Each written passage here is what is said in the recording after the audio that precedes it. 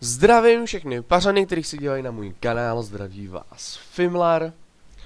Za odměnu za 105 odběratelů a za 10 000 lídnutí jsem se vás ptal, jakou hru byste si chtěli zahrát. Nebo by vy, jako já bych si měl zahrát, let's playovat.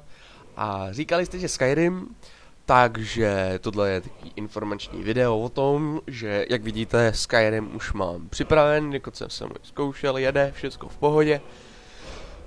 Takže se určitě můžete těšit na let's play ze Skyrimu. Doufám, že se vám bude líbit ten můj let's play. A rozhodl jsem se, že budu hrát třeba za Maga, pak za Tifa a dám to do různých sérií.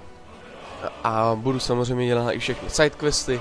Nebudu dělat samozřejmě jenom hlavní lineu, která by byla třeba za den hotová.